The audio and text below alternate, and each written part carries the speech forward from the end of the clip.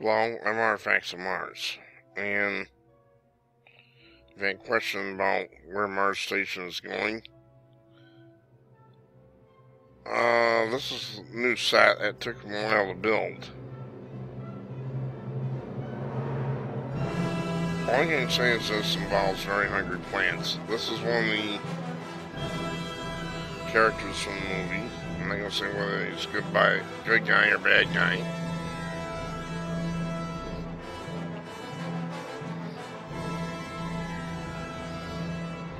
I might try to turn this into a shit problem is that linking objects that are far away from each other doesn't work so hot in Second Life.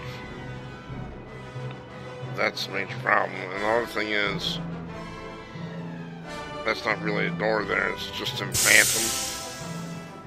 They know how to, people know how to uh, do this. They know how to make doors that swing open and shut even when they're attached to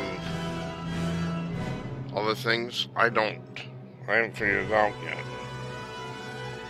So that could be another impediment to um, actually saving this as an actual ship. It's pretty large. Now, before I show you the good part,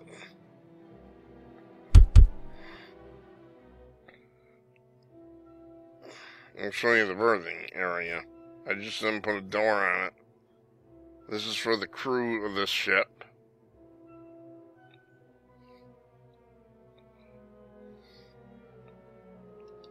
Not that much there, but it's just to make it look good, actually. Now I'm going to show you one of the good parts. Well, these plants are going to eat you if you're not careful. Watch this. It's a rather nasty character in there. Uh,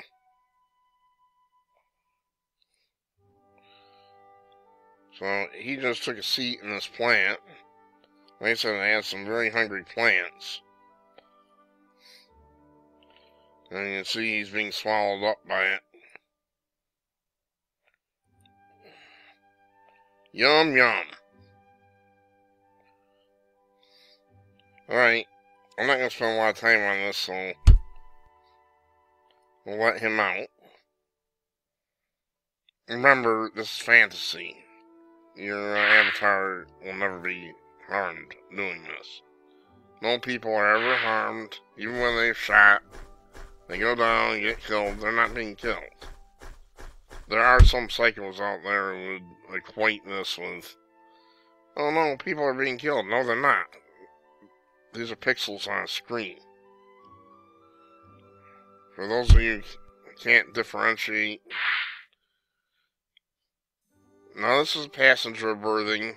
The ship storyline is that the ship was constructed for uh, ferrying diplomats, business people, and whatnot to between planets. I can give away that much.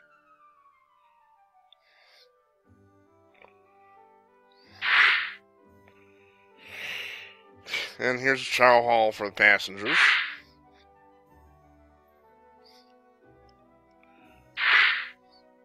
I am working on it. Well, you know, three hours translates into one three minute scene. Now compare that to Hollywood. I mean, it probably takes some days to make one scene. But I'm doing animation, not live action. Okay. So what little surprises are in here? This is a hangar bay, which is big enough. It loves doing that. This is a hangar bay that's big enough for... That's a... Actually a Federation Type 12 shuttle. If anybody on Second Life wants a copy of it, I can give you a copy.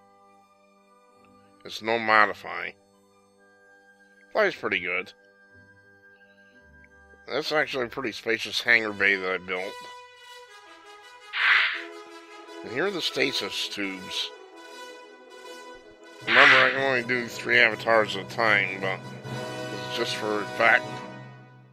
There's a storyline uh, around them. They're vital to the storyline, let me put to you that way. And finally, before I go, we'll take a look at the exterior of the ship that I built.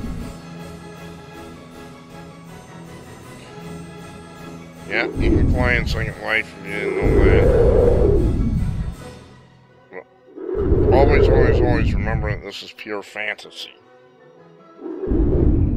I use Second Life as a tool for uh, my Mars studies to an extent, but this is when doing something like this, always remember it's pure fantasy. But I love a good science fiction story, so I'm okay with that. To give me an idea of the outside. Alright, it's not the prettiest of ships. I might try to link it up. I once I get done with the video, I haven't decided. I tried once before and I failed. I'm going to thinking about a different uh, strategy for it. Just two outboard nacelles and the front. This is designed to be essentially big barge carry place at diplomats, business people, that type of thing. I think it's interwoven with the storyline. And quite a story it is. This is actually, this texture on here is actually pretty typical sci-fi texture.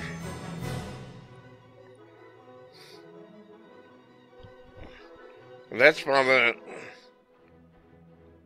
I will uh, be doing I will be chipping away at it and getting about one scene per day on average.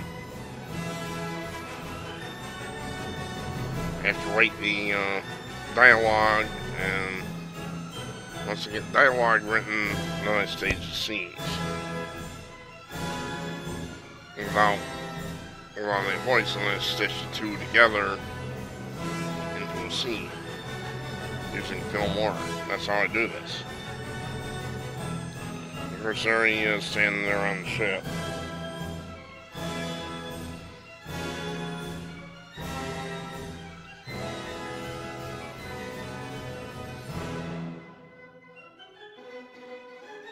Anyway, that's uh, number seven for you I'm getting it ready. I don't have a release date yet. Well, it depends on the weather. The weather's nice on the weekend, I'm out in the woods. Or out on the lake or something. Out of the house. If the weather's lousy, like it has been, I'll be inside, probably working on Mars Station. I'm Artifacts Mars, thanks for watching.